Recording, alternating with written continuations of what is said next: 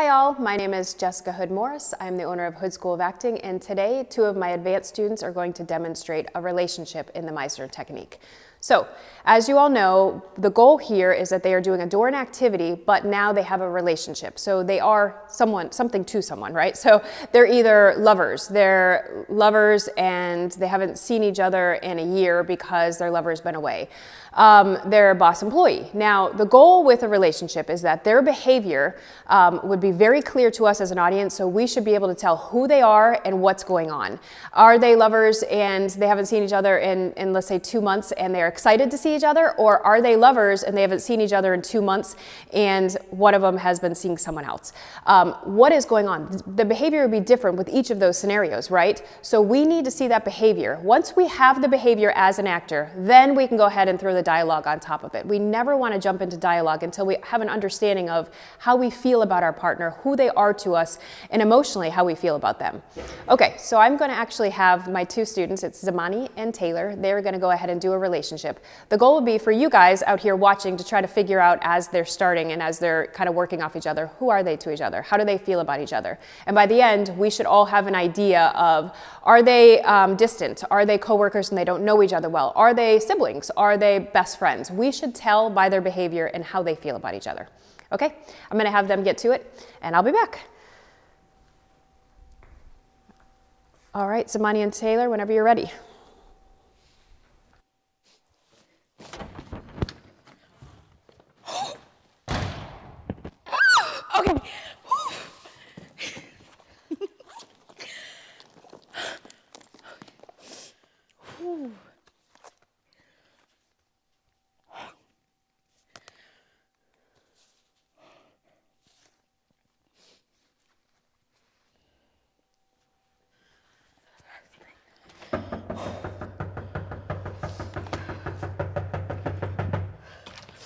Seriously? You're upset?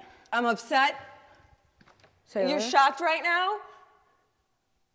I'm shocked. You're shocked right I'm now? Shocked. I'm Taylor, I'm shocked. Wow. You're ridiculous.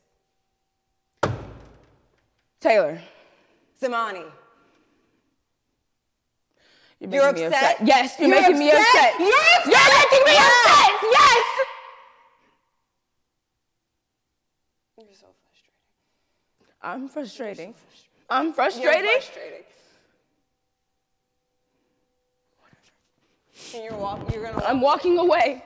I'm walking away. Yes. That's ridiculous and rude.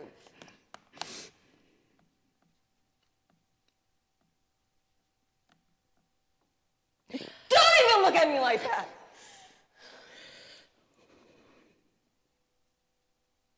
You're shaking. I'm angry. I'm angry. I hate you. Rick. You hate. Hate Get you. out. I hate Get you. out. Get out. You're frustrating. I'm frustrating. You're frustrating. Me. So bad. Get out. Get out. Get out. I'm sorry. I'm sorry. You're I'm- I'm, sorry. sorry. Yes. Okay, I'm sorry. I'm upset and I'm sorry. Okay? I'm sorry. Oh, God.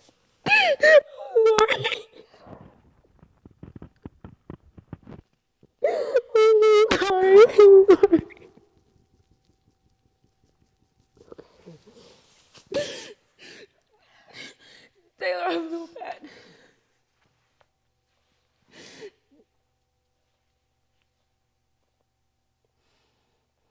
I feel bad.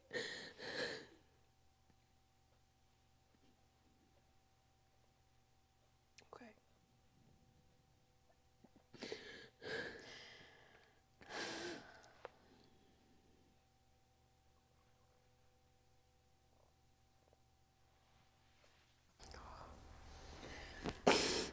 Okay, very good.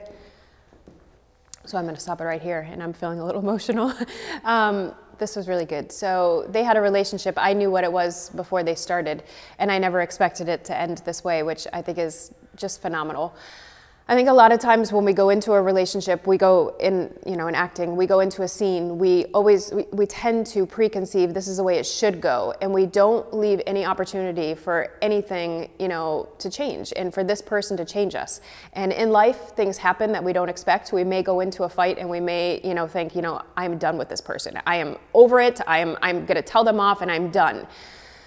But then there's a live person in front of us and they feel and they and they we feel with them and we care about them and we're changed. And that's what happened here and it was just amazing to watch. Um, so what the circumstance was was Taylor and I'm assuming you guys all knew that they were close. So they were either siblings or best friends, and you could tell by their behavior that they definitely were. Taylor and Zamani are siblings. Um, Taylor has been married for a year, but been dating her husband for five years. So married one year, together five years. Zamani, um, I don't want to say has been bamboozled by him, but kind of. So Zamani has been having an affair with Taylor's husband. Zamani had a boyfriend. Taylor's husband convinced Zamani to break up with her boyfriend, that he is in love with her, and that he's going to break up with Taylor. Zamani has been trying to figure out how to tell Taylor, but that's basically how it is. Um, but what Taylor just found out is that Zamani's having an affair with her husband, and her husband never had any intentions of leaving Taylor. Um, now, what I think is phenomenal about this is they both had a very strong point of view coming in, right? Zamani was very happy. Because she probably got the news, maybe that uh, her her new boyfriend is leaving um, her sister, and she's maybe excited, like, okay, this is a new life. Um, this is happening. Now I got to figure out how to tell her. But all I know is I'm excited, right? She was very excited when she came in. Taylor came in, came over with a very strong point of view. She was disgusted. She was uh, hateful. She was angry. She felt a lot of anger towards her, right? What happened? They worked off each other, they screamed, they connected, and Taylor changed from because of Zamani, Zamani, due to the belief in the imaginary circumstance, Zamani started feeling guilty, bad, angry at herself, started genuinely crying, feeling towards the circumstance, and that changed Taylor in such a freaking awesome way that Taylor didn't hold on to, but she's cheating, but she's cheating. She looked at, this is my sister and she's hurting right now. I'm to put myself aside. I'm her older sister.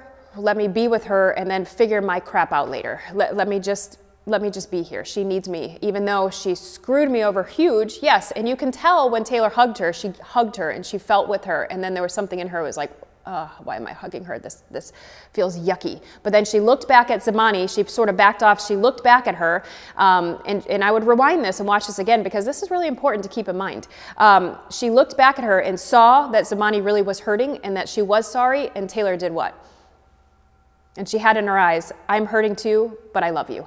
And I thought that was so beautiful because that's something that if we're in our head thinking, we'd be like, but, you know, she did screw me over, da da da da da. It doesn't happen like that in real life. In real life, we, we, yes, we get frustrated, we get angry, but there's a person in front of us and we do have feelings for them and we do love them and we put things aside because they are here and they're feeling with us and we need to feel with them. And I thought that was beautiful.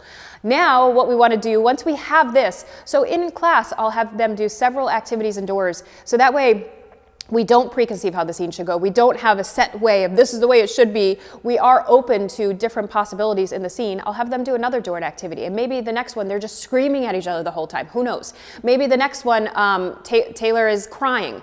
From there, once we, we've lived this scenario out so much, then we'll jump into the dialogue. So what I'll do is I'll have them do a door activity and I'll say, okay, whenever I feel like they're feeling something, which this exercise they were feeling the entire time, um, I'll say, okay, now go into the dialogue. And we'll ride the dialogue right on top of this, this natural emotion, this organic emotion. And then from there, we start blocking out the scene. Um, but phenomenal job, both of you two. Very, very good. And thanks for watching. We'll have another relationship soon and we'll get into more scenes. Um, we'll see you next time. Bye. Thank you.